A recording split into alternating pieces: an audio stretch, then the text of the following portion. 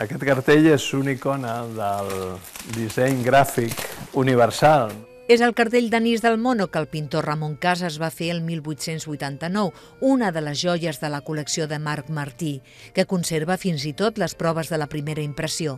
Amb la industrialització neix la publicitat, que troba en el modernisme català un mitjà d'expressió excepcional. Això és el sant grial del modernisme, perquè reuneix els artistes, l'estètica, el Sancta Sanctorum, que eren els quatre gats, i aquí han representats Rossinyol, Casas, Utrillo... Marc Martí va començar sol enganxant cartells l'any 77 i avui té una empresa amb més de 100 treballadors. De la seva feina neix la seva passió, aquesta col·lecció. El rètol de la botiga Vinson és una de les últimes incorporacions.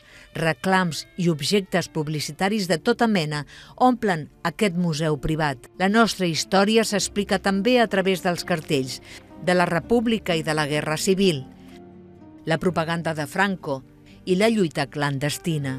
Els artistes s'han deixat seduir també per aquesta forma d'expressió. Miró, Picasso...